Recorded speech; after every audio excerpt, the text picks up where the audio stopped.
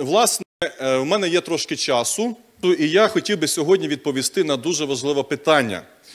Сьогодні особливе служіння, як сказав пастор Андрій, присвячене е, військовим, е, щоб висловити слова подяки і взагалі ну, поговорити про те, а як це взагалі поєднується? Церква, Бог, якісь тут святоші зібралися, і військові, війна. Як це все поєднується? І насправді доводиться таке питання ставити.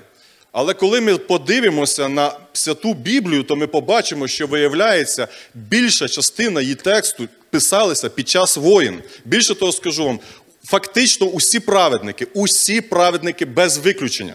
Ну, виключення дуже важко знайти насправді. Е, Вони пов'язані або з війною взагалі, або з військовою службою безпосередньо, були воїнами взагалі-то. Багато пророків, царів воїнами були. Або принаймні пов'язані ну, скажімо так, з політичними переслідуванням, тобто були дисидентами. Тобто, в тій чи іншій мірі ці всі люди, через яких Дух Святий записував нам Біблію, вони переживали щось таке ну непросте, незвичайне, власне, те, що переживаємо сьогодні ми з вами. І тому нам сьогодні фактично стає більш зрозумілими деякі місця святого письма. І отже, як це все пов'язано? Взагалі-то про війну в Біблії сказано більше 400 разів. А взагалі-то про війну, і не лише про війну, про воїнів сказано багато, навіть в новому заповіті. І я сьогодні буду говорити на тему а, образ військового у новому заповіті. От давайте про це поговоримо. Взагалі-то військових воїнів, наприклад, апостол Павло часто став у приклад всім християнам. Він казав: подивіться на воїна. Ми зараз візьмемо деякі місця Святого Письма. Подивіться на воїна. Ось це та людина, яка втілює в собі багато якісних людських чеснот. Навіть ті воїни, які ще далекі від віри, е, далекі від Бога, але тим не менше вони втілюють те краще, що Бог взагалі в людей вкладає. І він завжди закликає нам: дивіться на них і навчайтеся від них. І більше того, якщо навіть ви не маєте безпосереднього стосунку до війська, все одно ми маємо стосунок до війни. І все одно навіть будь-який християнин має бути схожим навіть у мирний час, у самій мирній країні, не знаю, десь в Австралії. Будь-який християнин має бути схожим на воїна, так нас навчає Біблія. Про що йде мова? Взагалі-то я вірю, що в цій церкві нема людей, які відсторонені якось від війська, від війни. Чому? Тому що хтось воює на передовій, хтось його підтримує, у когось е, воюють близькі сімей, е, чоловіки ми бачили, е, сини і так далі, доньки. Хтось якось підтримує військо. Взагалі-то, по самим скоманим підрахункам, якщо взяти все населення України. І скільки у нас воює на передовій, нехай там десь 300 тисяч, у нас десь мільйона армії, більше мільйона, то фактично всі люди, які живуть в Україні, на кожного воюючого припадає мінімум 50 людей в тилу. Мінімум 50 людей. А якщо брати всю, всю, всю українську діаспору по світу, то десь 100 людей на одну людину. От уявіть собі, навіть більше. От уявіть собі, що воює людина на передовій, а за ним стоїть 100 людей. За кожним. За кожним 100 людей. Якби ми всі були залучені до цього процесу. А я вірю, ми маємо бути залучені. Тому що це, це такий час. Бог нас поставив у цей час, і Він очікує від нас певної дії. Він очікує від нас певної реакції, певної за, за, ну, залученості. І ось а 100 людей, ці 100 людей за одну людину моляться, забезпечують, я не знаю, починаючи від продуктів харчування, хоча з цим більш-менш, слава Богу, нормально у нас. Але, можливо, специфічні ліки комусь потрібно, амуніція, е, будь-які, ну, все, що потрібно. 100 людей одну людину можуть потягнути якось? Думаю, що можуть. Серед них є бідні, більш заможніші, скинулись десь щось, хтось не має можливості, він молиться, він щось, не знаю, носки плете на зиму. Кожен може щось зробити.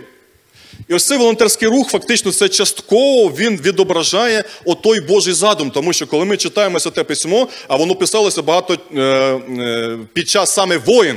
Ми читаємо книгу Второзаконня, ми читаємо 20 розділ, ми бачимо, військова загроза, починається війна, ополчення. Всі люди встають. Всі люди встають. І всі чимось займаються. Так ось, навіть християнин в Австралії, який далекий від війни, він має бути похожим на воїна. І ми сьогодні будемо говорити, що це значить. Нам мають бути пританмані оці риси. Взагалі, ви потужні воїни. Ви вже витримали більше одної години е, служіння. простояли, слава Богу, вистояли. Ще вистійте е, 30 хвилин мого е, спічу і взагалі будете потужними. От. І, і, і, я бачу, що в цьому залі взагалі люди всі контужені насправді. А, всі, е, хтось від вибухів, хтось на передовій, хтось там від вибухів там, САУ, там, ракет. А, Особливо бачу на перших рядах. А хтось від прославлення. У вас дуже потужне прославлення. О, це позитивний комплімент. Дуже потужне, гучне таке, ну знаєте, як як потрібно. І взагалі людина, коли контужена, навіть так жартує, да, контужена, вона от, може щось там не чути, але вона своє, там що там говорить, там кричить, йде там якийсь напролом. Так і треба. Такими нам потрібно бути християнами. Так ось, новий заповіт. Апостол Павло каже, місце Святого Письма, 2 Тимофія 2.3. Читаємо з вами. Ти ж терпи труднощі, як добрий воїн Ісуса Христа. Павло говорить нам про образ якогось доброго воїна. Хто такий добрий воїн? Добрий воїн тут можна розуміти по-різному. Добрий як як якісний, як такий хороший, ну, такий, ну, який гарно виконує свою справу, добрий воїн. А можна і буквальному, добрий від слова доброта. Ми зараз про це поговоримо. Отже, Павло каже: вчися від доброго воїна, і твої ці навички знадобляться у духовному служінні. Далі, той же апостол Павло, тому самому Тимофію, уже в першому Тимофію, 1.18 говорить так: передаю тобі, сину мій, Тимофій, згідно з пророцтвами, що були про тебе раніше, такий заповіт, щоб ти воював згідно з ними, як добрий воїн. І 19 вірш, маючи віру і добру совість. Ми бачимо знову образ доброго воїна.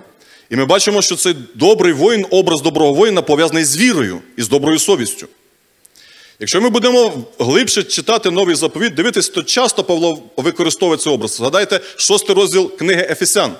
Там е, закликає Павло бути озброєними у все озброєння військового духовне.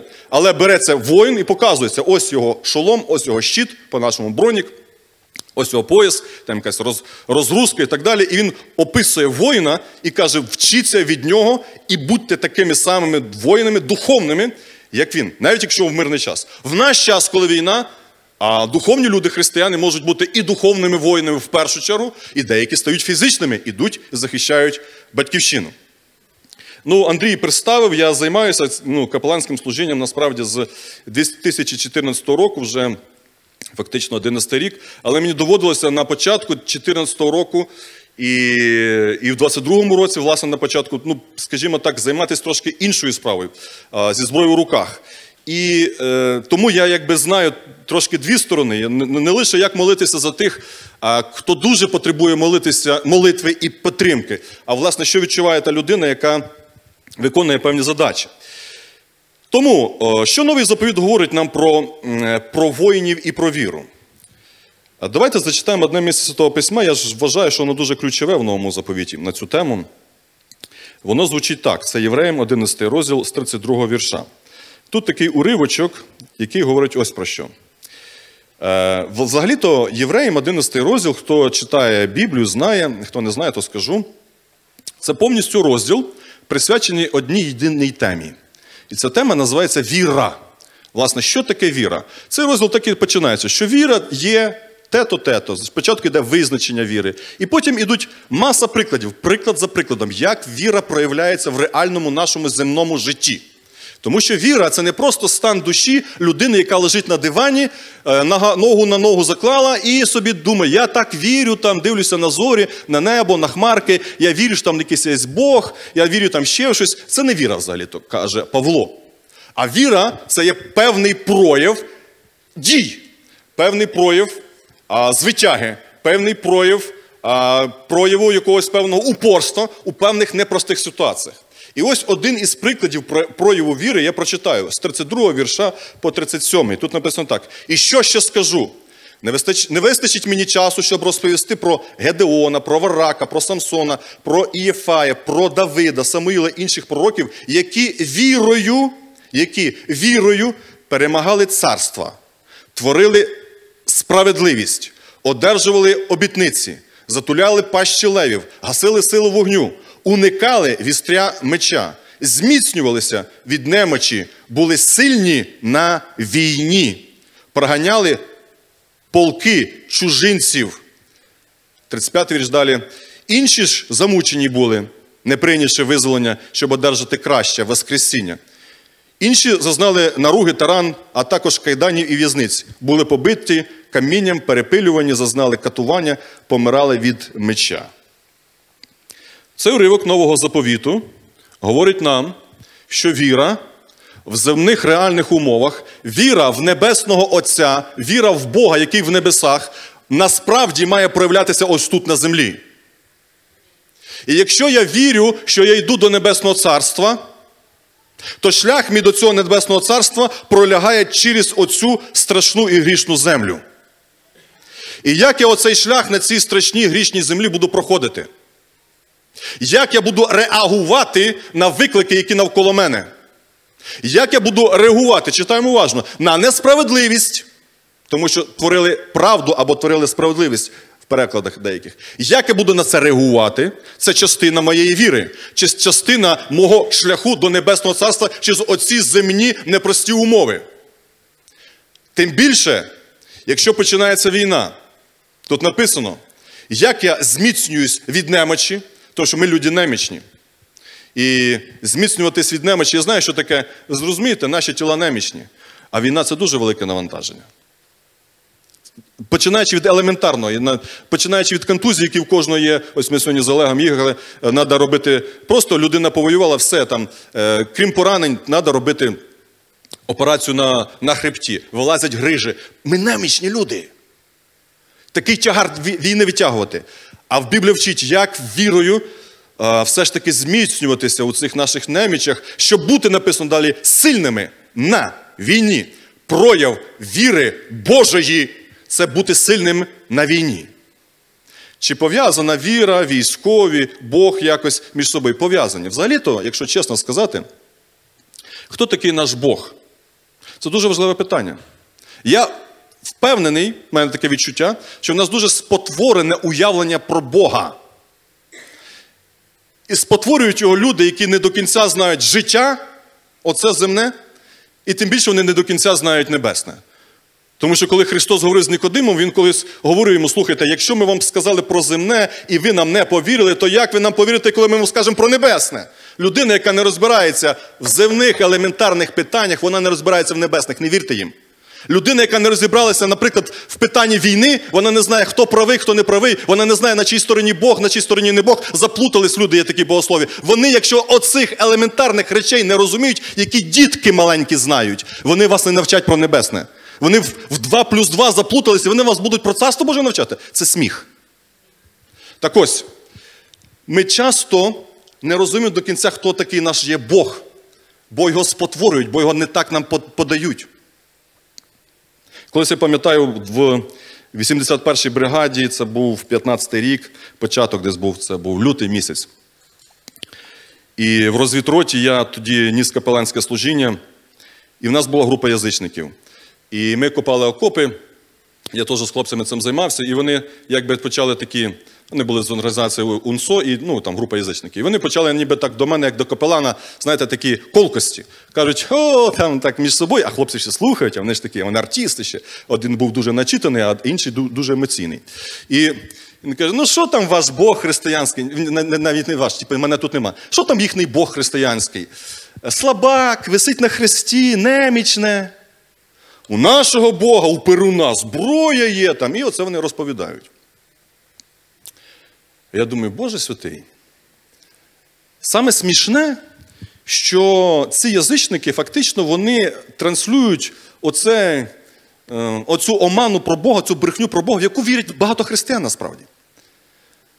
Я спокійно вийшов з ними на діалог і поясню, слухайте, перед тим, як говорити, потрібно хоч раз прочитати це те письмо. У Бога нашого є імена. І ці імена відкривають сутність Бога. І коли Давід вийшов проти Галіафа, я думаю, що пам'ятають всі цю історію. І коли Давід виходив проти Галіафа, це перша книга Самуїла 1745, там написано так: Я йду, ти йдеш проти мене там зі зброєю все, а я іду проти тебе в ім'я мого Бога Саваота. Що таке Бог Саваот? Саваот – це ім'я. Якщо перекласти на українську, це Бог воїн, який веде за собою велике воїнство. Наш Бог є любов, наш Бог є милосердя, наш Бог є добро, наш Бог є благодать. Але Бог, наш Бог є і страшний суддя, наш Бог є і воїн. І вибачте, цей світ закінчиться війною, який буде, яку буде очолювати Ісус Христос. Ісус Христос, як воїн з мечем, читайте уважно книгу Откровення, і за ним буде йти армія, щоб воювати. Тому наш Бог воїн, насправді. І тому, коли ми говоримо, як поєднується Бог, церква, військові, дуже органічно поєднуються. Тому що Бог воює з силами темрями через свою армію. Ангели, якщо ви будете читати уважно Біблію, то ви побачите, що вони зображаються з мечами. І ведуть там війни. Послухайте, ми що, знаходимося в якомусь скафандрі, не знаю, водонепроникному. Е, Всі воюють, Бог воїн, ангели воюють з бісами, з демонами. Всюди йде війна, а ми отут живемо, знаєте, так от е, е, всюди субота, в мене четвер. Такого не буває. Тому ми, як люди, наслідуючи Бога, бачачи духовний світ, на превеликий жаль, оця війна, правильно сказав Андрій, сама головна битва була між дияволом і Христом. Оця війна з дияволом, вона на превеликий жаль екстраполюється або переноситься в наші земні умови. І тому люди, одержимі дияволом, починають розв'язувати реальні фізичні війни.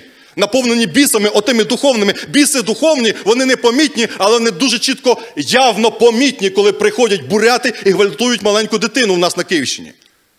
Непомітні біси починають втілюватися в помітні дії. І для того, щоб цього диявола зупинити, який надихає людей, нерозумних, не знаю, яких там, нападати на інших, красти, гвалтувати, диявол прийшов Івана 10.10 10 для того, щоб вкрасти, вбити і погубити вкрасти все, що тільки можна, вкрасти нашу назву, тому що Русь це ми. Вкрасти нашу історію, вкрасти наші унітази, все вкрасти потрібно, це дьявол до цього приходить.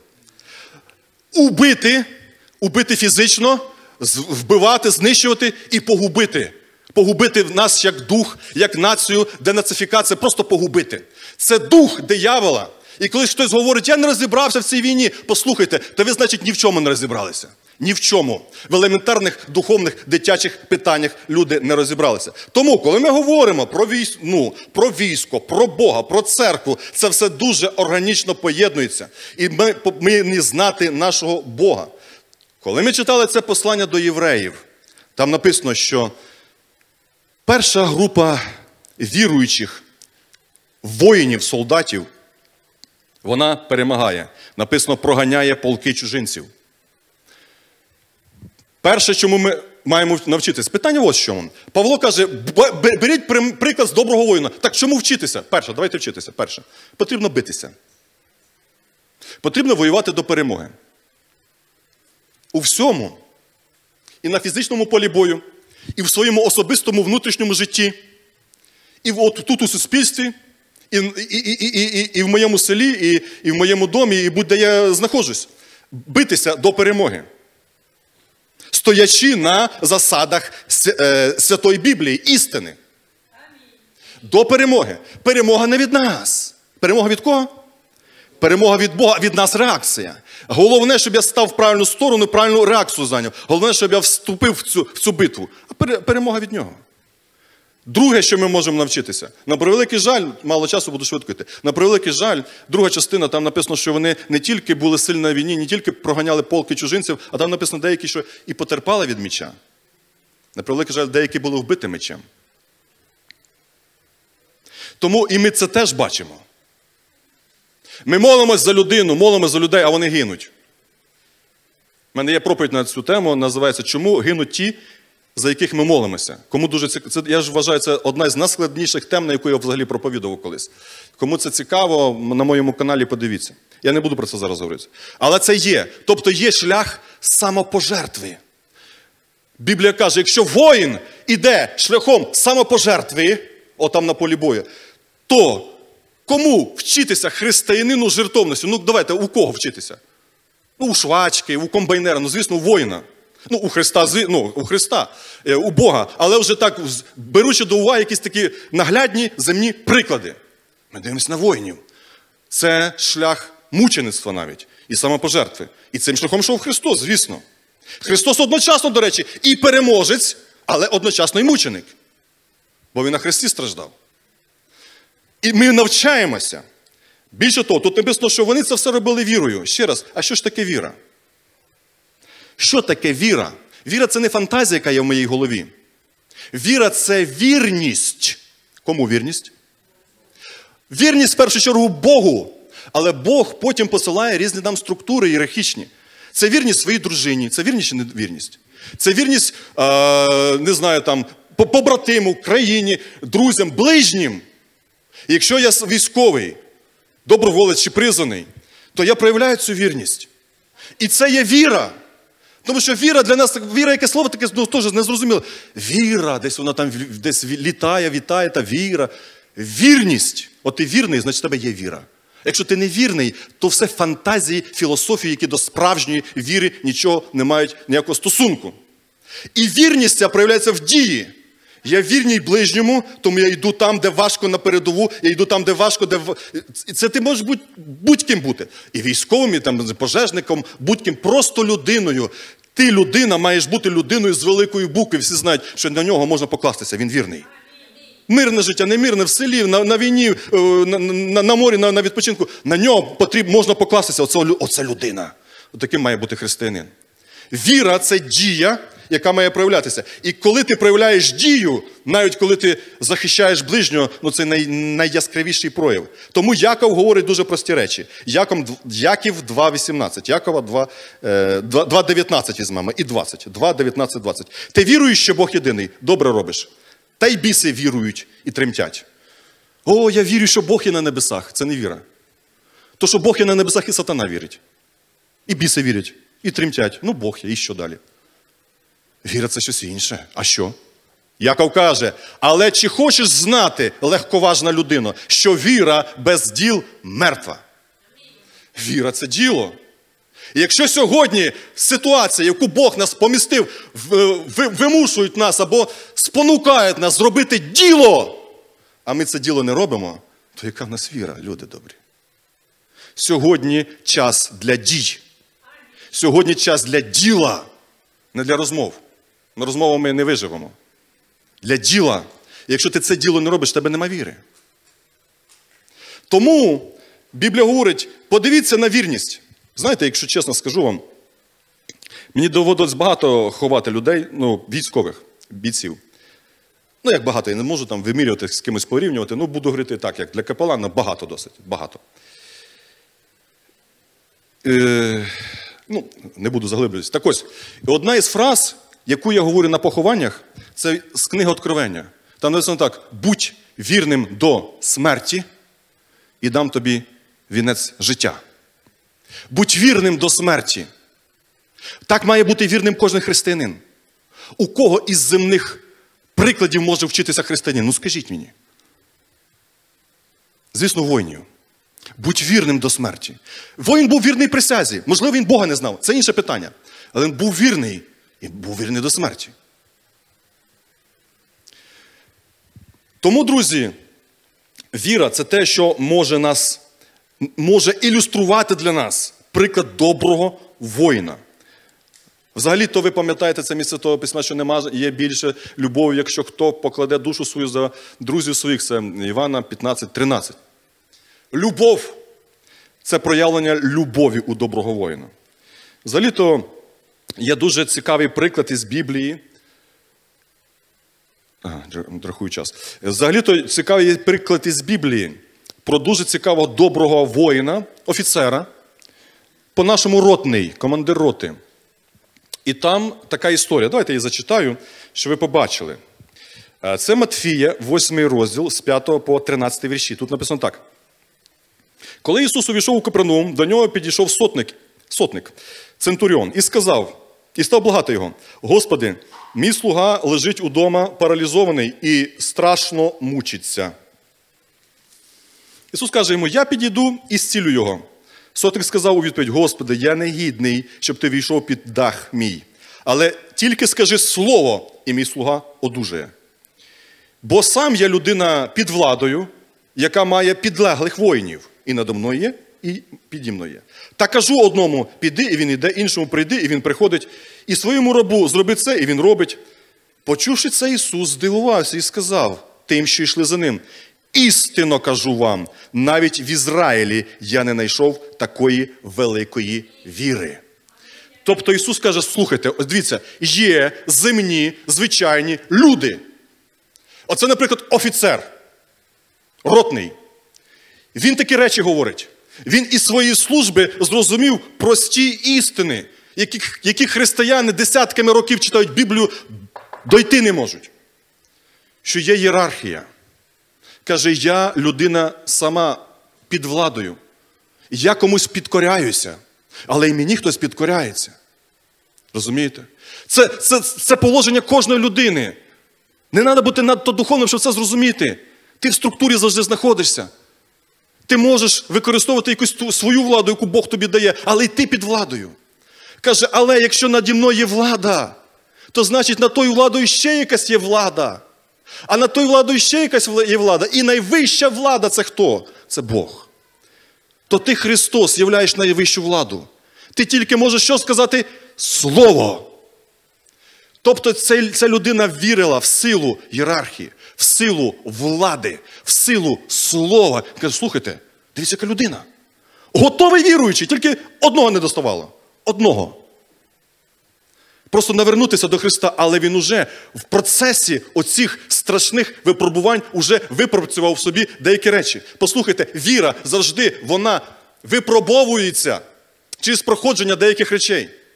І коли я говорю, що я маю віру, а ти не знаєш життя, ти не проходив через такі пекельні різні а, відрізки, навряд чи ти маєш віру. Не спіши з висновками. Колись Петро казав: та слухайте, та я такий, та в мене віра така. Всі труси, боягузи, я нікого не боюся. Якщо навіть всі від тебе Христос відрік, будуть відрікатися, я буду вірний тобі. Та це що, мене не знаєш? Та я ж такий, е, хто тут е, побратимів знає, які на учебки всі такі, «О», а потім абсолютно по-іншому себе ведуть.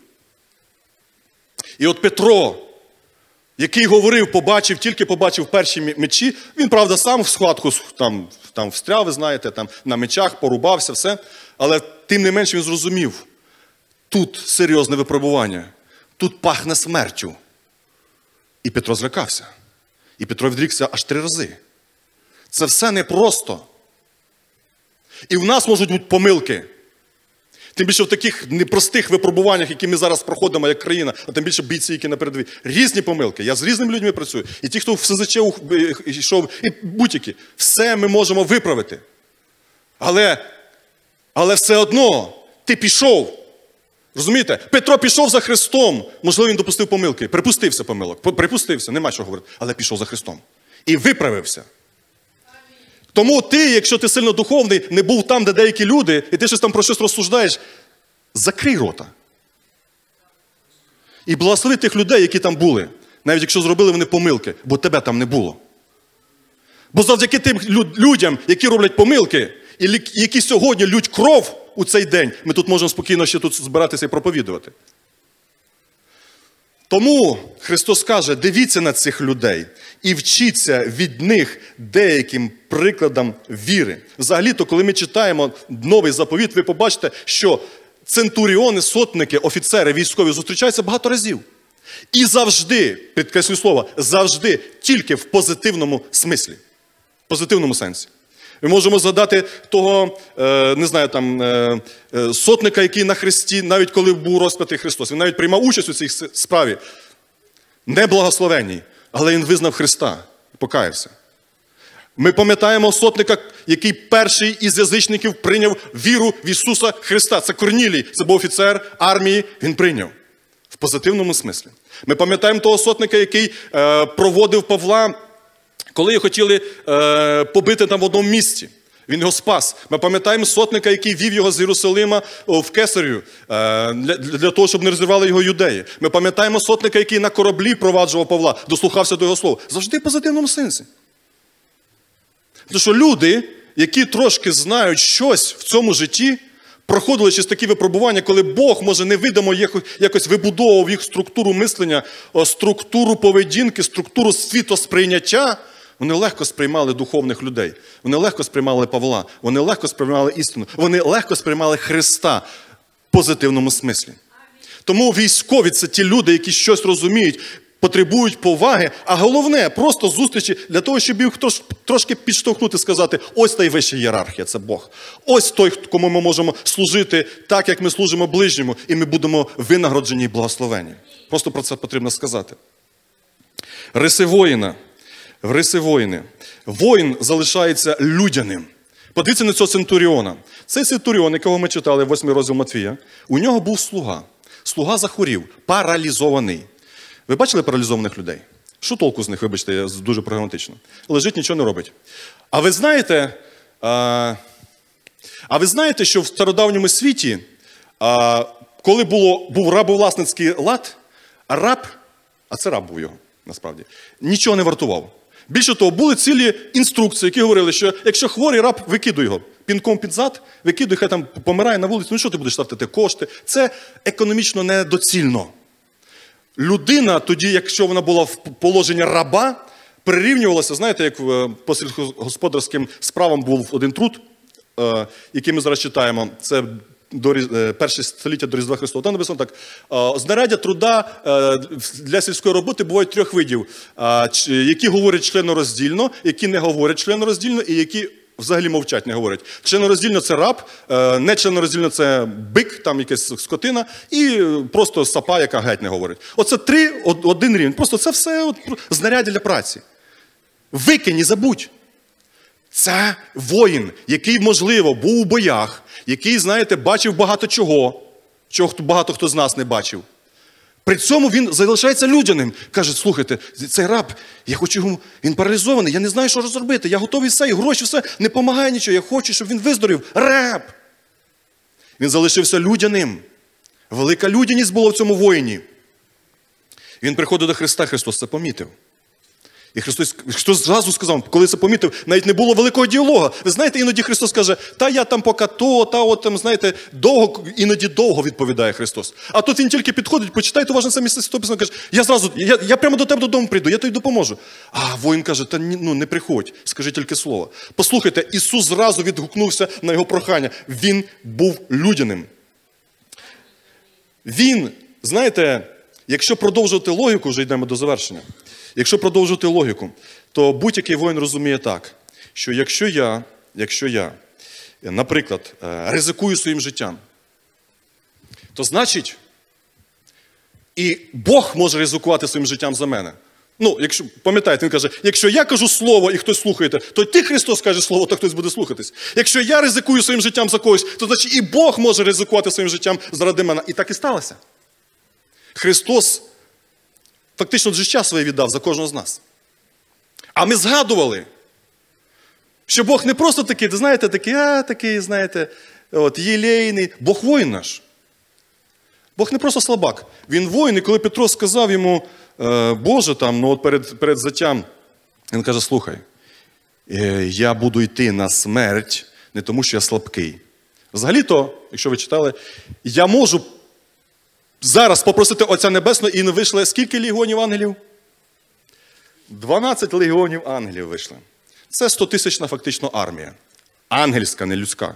Каже, 100 тисяч ангелів зараз прилетять, на молекули розберуть все весь світ, якщо треба. Тобто я сильний, в мене армія. Але ця людина, Христос як людина, він був Боголюдиною, але як людина він іде. І він ризикує своїм життям за кожного з нас. Чому ризикує своїм життям? Тому що ми мали всі загинути з вами. Ми мали всі піти в пекло. Тому що всі ми грішники. Всі ми грішники. А написано, причому великі, ми грішимо ж не тільки ділами нашими, словами грішимо, помислами, думками. Якщо це все калькулювати, не будьте скромними. Ви дуже великі грішники. Просто мільйони. Навіть сама хороша людина мільйони, просто мільйони. А написано в Біблії так, е, Римляна 6 розділ, е, 23 вірш. Розплата за гріх смерть. За один гріх. Яка смерть? Смерть друга, смерть вічна, смерть пекельна. За один гріх нас він не один. Туди ніч- нічого нечисте не війде, написано у е, Царство Боже, в Откровенні. Ніщо нечисте не війде. Ми нечисті. Ну так ми живемо. Коли Іс- Ісая сказав, я нечистий і живу серед людей з нечистими вустами. Ми так живемо. Нечисті уста, говоримо погані слова. Ми такі люди. Але Ісус каже, але я хочу, щоб ви були зі мною в царстві, я хочу, щоб ви були в спасінні, я хочу, щоб ви були праведниками. Тому я замість вас іду куди. І Христос ризикує своїм життям. Він не просто його вбили на хресті і все. Послухайте, Петро говорить нам, що він спускається в пекельні місця землі, третій розділ 1 Петра. Він йде прямо до ворога. Послухайте, це Христос, це воїн, ДРГшник, який йде прямо на ту сторону до ворога, прямо саме вол, логово, логово ворога прямо йде туди, ризикуючи собою. І був у нього останній бій. Він не тільки своє життя віддав на Христі, він пішов у пекло і в пеклі дав останній двобій дияволу. Це було непросто. І це дійсно героїзм. Я пам'ятаю, хлопців, може, знаєте, хтось Брянську четвірку, можливо, пам'ятаєте. Всіх знаю, крім Аполлона. І Святошу Юру, і Непей і Тарасія. Всі вони трьох. Ми разом читали Біблію, ми разом молилися багато років підряд. І потім, ви пам'ятаєте, 25 грудня 2022 року вони загинули, е, виконуючи е, спецзадання там, на Брянщині. І коли їх оточили вороги, вони запропонували здатися. Здайтеся. Але вони сказали, не будемо здаватися, ми будемо давати бій. Вони дали бій, і вони все загинули. Так ось, Христос це та людина, це той, хто пішов прямо до ворога заради кожного з нас. Всі ми вже був вирок проти нас, проти кожного з нас є вирок. Але є шанс. Він каже: Я, якщо я можу вступити в двойбій, ризикуючи своїм життям, віддаючи своє життя, помираючи, іти прямо в пекло, ніхто не хоче з вас піти в пекло. І слава Богу. Христос пішов туди для того, щоб спасти кожного з нас. І Він вийшов із пекла. І зараз дарує нам амністію прощення. Так от воїн з його мисленням думає, слухай, якщо я за когось ризикую життям, то може і Бог за мене ризикнув життям, а він ризикнув. А він ризикнув. Зараз проповідь буде до завершення. Останню фразу говорю, але перед цим я перериваю її. Хочу зробити молитву. Те, що я зараз говорю, це стосується кожного з нас. Кожен з нас грішник. Кожен з нас а, фактично мав йти в пекло. За кожного з нас Христос пішов прямо туди в пекло для того, щоб визволити нас з цього пекла, віддавши своє життя. Христос не мав гріхів. Ми мали гріха, гріхи. Христос був вбитий найстрашнішою смертю, яка існувала на той час. А, Можна було б, умовно кажучи, від, відрубати голову мечем, але це легка смерть. Смерть на Христі це сама важка смерть. Не буду її описувати, просто повірте. Самої гіршої смертної кари римляни не придумали. І карали цією смертною карою саме найгірших е, рецидивістів. А це були або рецидивісти, або бутівники проти влади. Тому у Ісуса була політична, ем, політична стаття. Ісус назорий цар юдейський, тобто цар це повстанець, я хочу бути царем замість кесаря римського. Тому йому цю статтю, ця стаття найбільше покарання. Чому Бог так розпорядився? Він нікого не вбив, він нікого не образив, він нікого не обманув, він нікого не вкрав нічого. Чому Христос пішов на таку смерть? Ми з вами заслужили. Це стосується кожного. Якщо хтось перший раз сьогодні. Давайте станемося на секунду. Якщо хтось перший раз сьогодні, то і від, відчуває, що це торкається його, я хотів би просто зробити коротку молитву, декілька фраз сказати, щоб ви цю молитву ну, сказали разом зі мною. Андрій, пастор, вже на початку молився, але давайте ще раз це закріпимо. Кого це торкнулося, не бійтеся. Тут воїни або люди причетні до серйозних справ знаходяться. Не треба соромитись нічого. Кого це торкнулося, підніміть руку вверх, я хочу помолитися. Короткою фразою. Якщо такі люди, хоч декілька рук є. Отче Небесний, в да, повторюйте. В ім'я Христа Ісуса. Я визнаю, що ти всемогутній Бог. Пішов на жертву, пішов на смерть пішов у саме пекло замість мене, бо я мав мало туди йти. Господи, прости мої гріхи, очисти мене від всякої неправди. Будь моїм Спасителем. Хай твій подвиг стане моєю праведністю. Прости мене і веди своєю рукою до Небесного Царства. Я дякую тобі за те, що ти чуєш цю молитву, зробив для мене це спасіння і даруєш мені його сьогодні. Слава тобі, Отцю і Сину, і Святому Духу. Амінь. І на завершення, друзі, на завершення, от на натяки чую, слава Богу, на завершення. Яким же потрібно бути добрим воїном Христом усім нам? Просто повторю пункти. Перше битися до перемоги. Друге бути жертовним.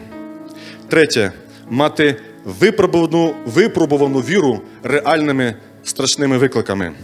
Четверте мати любов, яка готова віддавати навіть найдорожче. П'яте незважаючи ні на які жорсткі обставини, залишатися людяним. Шосте розуміти силу субординації на землі, і тим більше субординацію з Богом. Сьоме визнавати владу Бога і просити про її прояв влади для звершення чуда. Восьме розуміти силу Божого Слова. Дев'яте бути готовим іти на ризик. Десяте довіряти Христу. Хай Бог вас благословить. Амінь. Е, Ви знаєте, слава Богу.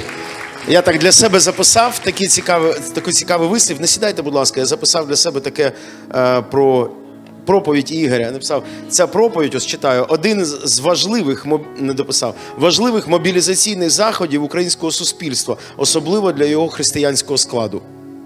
Хто згодний зі мною, друзі? Знаєте, пам'ятаєте, в Біблії написано, що є голос, що кличе в пустелі. Приготуйте путь для Господа. Друзі, кожне серце, життя кожного і серце кожного з нас, воно має бути приготовлено.